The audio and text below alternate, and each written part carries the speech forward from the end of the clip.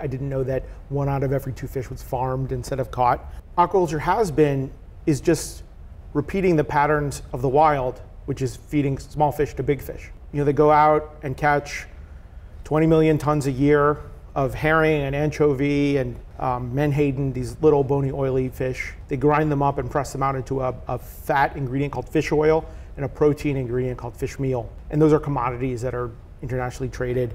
And those are the key ingredients to make aquaculture feeds. That's how you get these special proteins and oils that these marine creatures require to be healthy. Fish meal has, the price band of fish meal has more than doubled, and it's gone up between five and six X since 1995. We like dirty CO2 because that's cheap, or people might pay us to take it. And our bacteria, you could say, eat or remediate a lot of the things that the EPA is actually concerned about. These bacteria that can take the CO2 and use the hydrogen and grow. The proteins in those bacteria are intentionally very similar to the proteins of the small fish that the big fish eat in the ah. wild. Puts off about 1.2 million tons a year of CO2. We could make 600,000 tons a year of our Novo meal from that.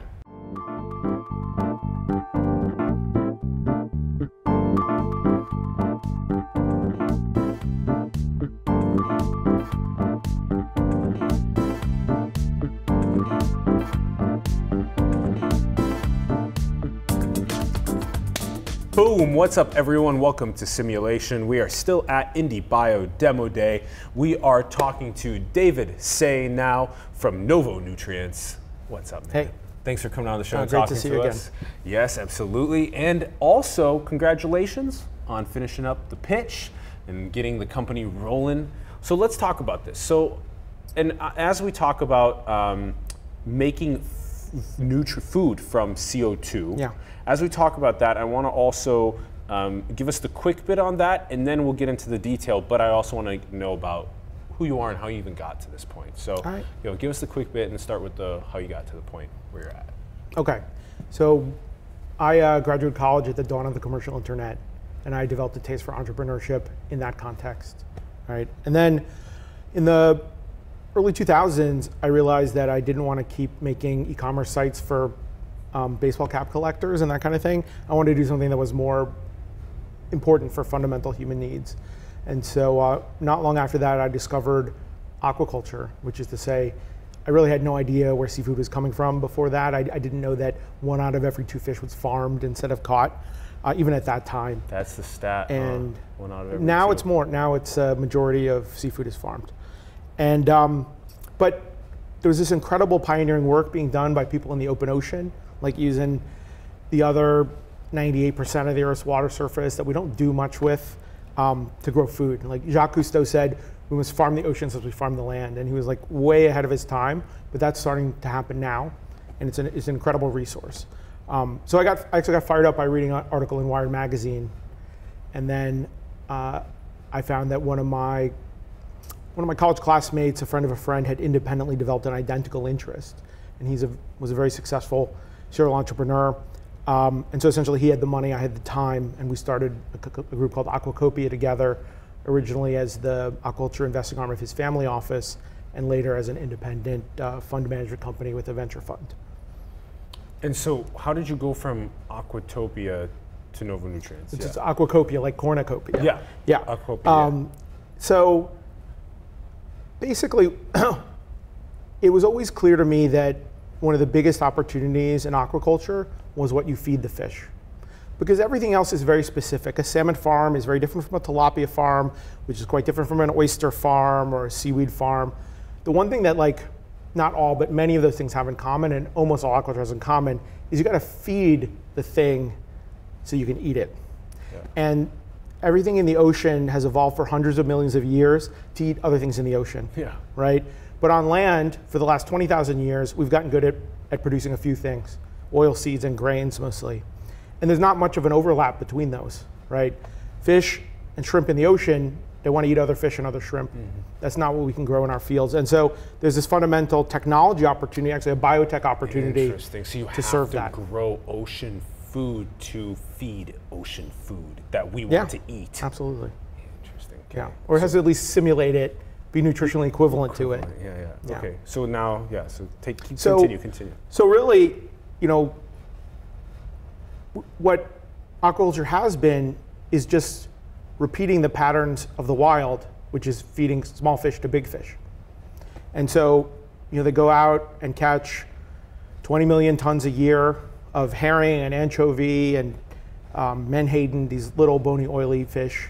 They grind them up and press them out into a, a fat ingredient called fish oil and a protein ingredient called fish meal. And those are commodities that are internationally traded. Um, and those are the key ingredients to make aquaculture feeds. That's how you get these special proteins and oils that these marine creatures require to be healthy. But those are commodities that have been under tremendous pressure and the prices keep going up and up. So like even in the time that I've been in the business since 2004, uh, fish meal has, the price band of fish meal has more than doubled and it's gone up between five and six X since 1995. Um, Whoa, and, and that's the wrong way. We want it to drop.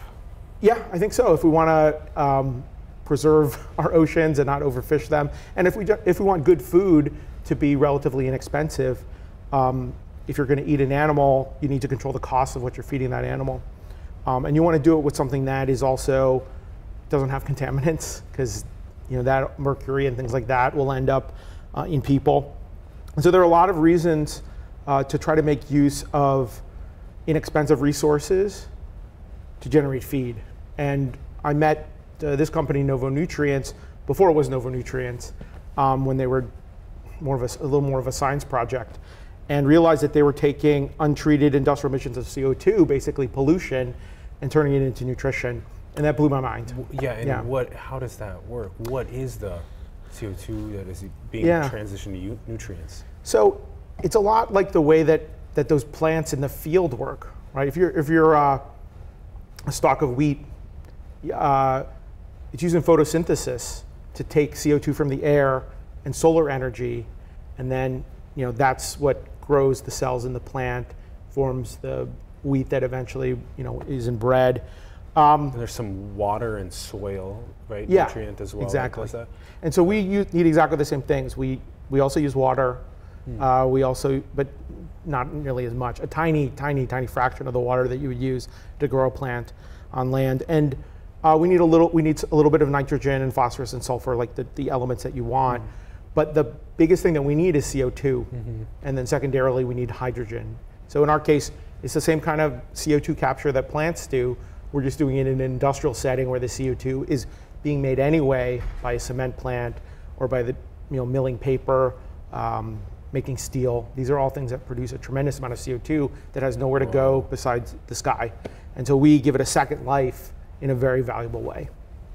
So the CO2 that is a byproduct of steel and these massive industrial processes can then have a Novo Nutrients yeah. section of, of the yeah basically factory. you just got it you get the CO2 to us and we feed it to our bacteria. Okay, and now let's, okay, cool. So let's talk about this. So uh, the CO2 comes to you. What does Novo Nutrients have that you said feed it to the bacteria? Yeah. Okay, and then they keep telling us about that. Okay. So, yeah. so this is actually the core of our intellectual property and the, the heart of our technology. Whatever you can tell us, yeah. Yeah, which is to say, it's a framework for designing consortia. Consortia. Consortia means different kinds of microbes that work together, mm. where the whole is greater than the sum of the parts. And so in our consortia, um, the core primary producers are these bacteria that can take the CO2 and use the hydrogen and grow. But then there's another layer around them of, of secondary producers, other species, other strains, that can't survive directly on CO2 and hydrogen, but the waste products of the prime producers give them what they need to thrive. And so in this way, like consortia nature, which are, you almost never find a microbe by itself. Because in the same way that nature abhors a vacuum, evolution is going to use all the resources that are available in an area. And basically, you know, organisms are going to evolve and move in until almost all the resources are used. And it, at the microbial level, it's, it becomes these consortia. Um, and so that's our, our patent application, or one of them at least, is around a very particular subset of all the possible consortia that is specifically designed to, um, to be able to produce nutrition very efficiently, quickly, and inexpensively from industrial CO2. So, what exactly happens? The bacteria is a bacteria that takes the CO2 and uses that to do what that enables it to grow and Exactly. So these are microbes that grow by cell division. yes So it's exponential growth, and we're just giving them the food that they need to split to make more bacteria. and then that those microbes are the food that the f- aquaculture wants yeah, I mean, it's fish meal exactly the, the proteins in those bacteria are intentionally very similar to the proteins of the small fish that the big fish eat in the ah. wild. So the pro, a, a profile of a protein is like what amino acids are in it, mm-hmm. which of the building blocks of protein are in it, and to what degrees. And so uh, our inventor and, and founder Brian Sefton designed this uh, consortia specifically to try to get an amino acid profile that's like an anchovy, which is sort of the gold standard for marine proteins. And so we've gotten, it's very interesting to see the graphs next to each other. We've gotten quite, quite close. Um, but what's even more interesting is if you take away the fish meal amino acid graph and put in the nutritional needs of a specific animal like a salmon uh, or a shrimp, because that's really what you want to, you don't want to necessarily substitute for what they eat. You want to substitute for what they should be eating. What would be the perfect protein for them? And there's this concept of, um, of an ideal protein, which is actually that. And we're doing some work to try to achieve ideal proteins. But that would be next generation for us. That's not what we have today. Yeah, yeah. Interesting. So then there's this. You kind of you you put it as a uh, a golden standard Yeah. of maritime It's called- marine protein. It's called, uh, the, the good stuff is called super prime fish meal. Super prime fish meal. Yeah. Interesting. So then the same uh, composition of amino acids that make up the proteins in fish meal, you have bacteria that is Yeah, absorbing from CO2. we're close. Cl- oh, close, We're better in some, worse in others, but we're working on, this is really a first draft for us, what we have today. And we have many ways to improve as we go to Mark II, Mark III, and so forth. And then, uh, David, how receptive are the fish in the aquaculture to eating the fish meal? So we, uh, we just did a test actually. Um, so the USDA and the US Fish and Wildlife Service have a joint lab in Bozeman, Montana, where this is pretty much all they do. Um, Sweet. Yeah, our tax dollars at work. But in this case, yeah. you know, to create better and cheaper seafood is really is, is mainly what they're thinking about. Yes, yes. And so uh, they set aside 200 trout. Half of them got the controlled diet, which had the super prime fish meal in it, and half of them got a diet which was, gosh, I think it was about 40% Novo meal, which is much higher than you would actually use in a real situation. But they wanted to see is it safe? That's the first thing. Yeah. And yeah, the uh, safety levels were like almost identical. But then it, it also, you could also measure growth. And what we saw was, especially as time went on and the fish were bigger and therefore, um, you know, it would be more expensive to feed them because they eat more when they're bigger, our growth rates were better than the, than the control. And so that's like very promising for us. Yeah. So yeah, growth rates is huge, and then also I'm curious if the the cost to feed becomes much less as well. Yeah, so um, You're not going and taking a crap loads of fish from the ocean to feed other fish. Exactly. So if you, if you look at the publicly traded companies that do that, right? They're companies that special. They have fishing fleets. They go catch the fish. They process it into these ingredients. They sell the ingredients. The publicly traded ones um, seem to have around a seven percent average profitability, right? Um, our gross margins should be sixty percent at Yeah, scale. yeah. Now that's not all going to that's not going to translate to cor- all the corporate profitability, but there's a huge difference there. Huge difference. And yeah. so we and sustainability as Oh, well. not- you take CO2 instead of take wildlife. Yeah, yeah. And so that means that our production cost is just much lower. Yeah, I mean, that's and the simplest way to say it. Now, now, can you use just any CO2? Does it have to be like a somewhat clean source of CO2? You know. We like dirty CO2 because that's cheap, or people might pay us to take it.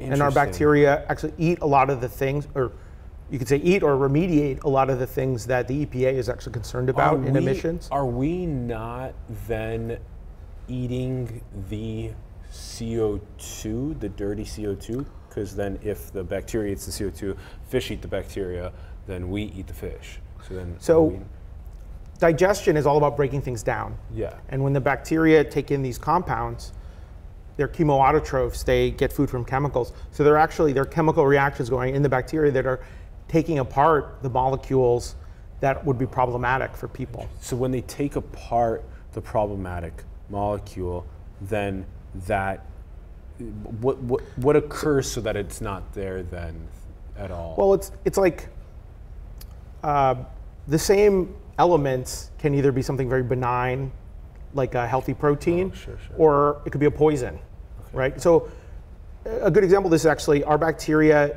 uh, can take apart cyanide. So we would remediate cyanide if it was in a in a in a flue stack. The the one thing that we can't you can't take apart right are elements. So we have to avoid elemental contaminants like mercury, um, like arsenic, Oh. or radioisotopes. Which is also is that also why you can't like take mercury out of this whole fishing seafood dilemma? Is because there's It's- something that limits our ability to take that element out? Yeah, it.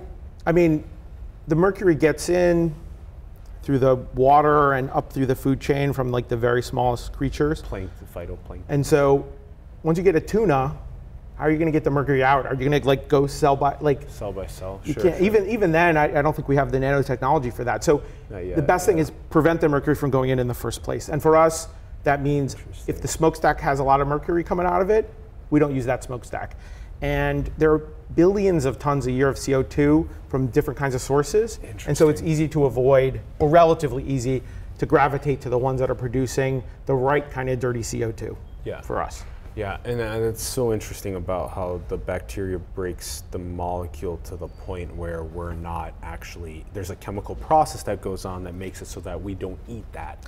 And I'm speaking generically, but yes. And this uh, is what we you try know. and do on the show. Yeah. We try and get down to the. I, the I can't guarantee that every possible, you know, problematic molecule could be broken down, but we've looked at we've looked at the main ones that are actually present in flue gases, and we're confident that we can find sources in cement plants, steel mills, uh, oil and gas facilities, pulp and paper mills, um, and bioethanol manufacturing, among other. Those are just the top five. Just as a strange question, I guess, as you scale over time, the amount of fossil fuels that we use decreases over time. So where do you get Yeah. your dirty CO2 from then? Well, so there are a lot of industrial processes that are not related to fossil fuels that just have to create CO2. So, Oh, interesting. like wh- which so cement, for example, Ah. the just the, the chemical process for the formation of cement Makes produces a ton of CO2 for every ton of cement, Gotcha, approximately, gotcha. right? And so, you know, down the street here, if you go to Cupertino, uh, there's Lehigh Cement, which is part of the Heidelberg Group, which is one of the largest, uh, if not the largest cement group in the world. And that particular facility um, puts off about 1.2 million tons a year of CO2. And we could make 600,000 tons a year of our Novo meal from that. Whoa, And that's a lot. the state of California limits these guys to releasing the amount of CO2 that they did in uh, the late 70s or early 80s. And so if their CO2 wasn't being emitted, That's right. they could make more cement, cement. which is what they're in the business of doing. So there's a lot of value here. Yeah, yeah. Not just in this incredible protein, but in also just make, you know, reusing the CO2 and preventing it from going directly into the atmosphere. Now, are you positioned right next to the cement factory, or are you positioned at a centralized location where the cement factories from around the world ship their CO2 to you? Well, so the, there are cement factories that are significantly bigger than the one in Cupertino. There are ones that are 4 million tons a year or more, right? And at 4 million tons, that creates 2 million tons a year of product, Yeah. which would be valued at around $3 billion, uh, which means it's, it has the same value as the annual production of soybeans from Nebraska, which is like Whoa. 330 million bushels. Um, that's a lot of protein. And so it, it, it, we don't we won't need multiple sources coming to one point. We can we can take can work with one the production to the inputs, and the inputs are Okay, CO2 cool, cool. and hydrogen. So that's the other part is the hydrogen. The hydrogen. Okay. Okay. And then now just give us the kind of the the the you know the fish meal that you make, the super fish fish meal that you make. That that then is fed to aquaculture systems around the world through what would be this like Right. yeah what So, so there are multi-billion dollar companies. All they do is they make feed, and some of them make feed for pigs and chickens and fish. Some just make feed for shrimp. Some just Yeah. make feed for salmon. And so these feed milling companies will be our customers. feed milling companies. mills, Okay, feed companies, cool. yeah. So then you sell it to them, and they go and distribute it to salmon or shrimp or whatever. Exactly. Because well, they're in the business of buying a wide variety of ingredients, Ah. Mixing them in different recipes, and creating these feeds, which are a lot like they look a lot like and are a lot like a dry cat or dog food, and then that's their product that Yeah. they sell to farms or they sell to distributors. Okay, great, great. Um, is there something else about Novo Nutrients that we should know on the way out? Yeah. Um, everything I've just described is natural and will be regulated as such. Uh, but half of our team are synthetic biologists, and they're thinking about what kind of engineering can we do to create even higher value, better performing products. And so a lot of the things that today are considered that get put into feed, like vitamins, enzymes, carotenoids, which are uh, really good antioxidants, right? Um, omega 3s are things that we can have our bacteria manufacture internally, and then they won't have to be added to feed because we'll be delivering these, this value added protein meal that's enhanced with all these valuable biochemicals. And then our customers at feed mills won't have to buy those things separately. They'll get a nice bundle. Um, and, and that opens up all kinds of possibilities. And the reason why we can do that is because we have a generalized biomanufacturing platform that we have chosen to use first in animal nutrition and aquaculture because it's, that's just such a great initial market. Um, but it represents a fraction of what we can do. Oh man, this. And are you are you how, where do you sit on like the long term push for co- with companies like Finless that are working mm, on mm, mm, growing the actual fish in Sure. the big bioreactors? we see them as potential customers for us because we create nutrients from non-nutrients. And companies like Finless and New Age Meats and Memphis Meats take nutrients and turn them into food. So in a sense, they're actually very much like a fish farm. So they would Or another take farm. directly from you. We think we can produce products for them, Yeah, yeah. right? Because they want proteins and fats that their tuna cells can take up and grow, grow. and replicate. And These tuna cells that. are not are not capable of taking the small molecules and reproducing the way that our bacteria can. And Yeah, so yeah. we we really want these new food tech companies to succeed because that's a market where we can get in on the ground floor and provide a higher quality protein to them and, and other things that they need at a lower cost.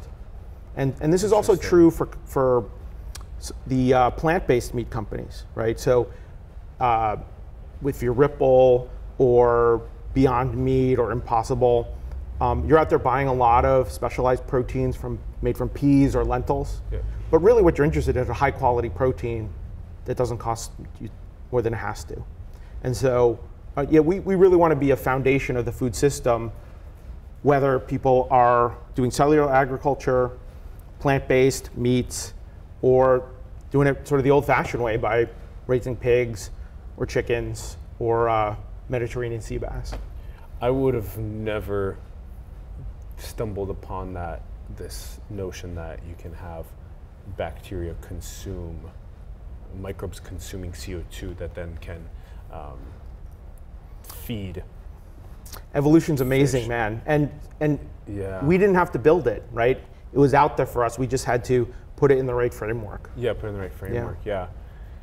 And again, it's it's it's it's the des- it's the design of the uh, of the selection of the specific amino acids that make those proteins that then can be fed to the Our core intellectual property is a framework for designing consortia of microbes. Yeah, consortia of microbes. Not just bacteria, Yes. but Okay. our patent application also specifies specific types of yeast, microalgae, Yeah, other fungi yeah, gotcha. that can all work together. And we're just enabling the growth not only of our workhorse bacteria that can work that can live on the CO2 and hydrogen directly, but dozens of other species that have their own special properties that can now indirectly live on CO2 and hydrogen. That's the magic. the the oh, consortia of microbes can use the CO2 as the fuel for them, and do they then make the specific proteins that you want to feed the fish? Yeah.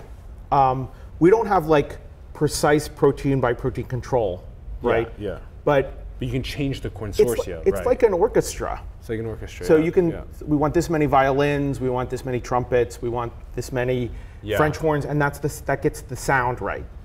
You can't get it exactly like, you're not gonna be able to get the sound waves exactly what you want, but you can get very close and sort of, you know, close enough for government work.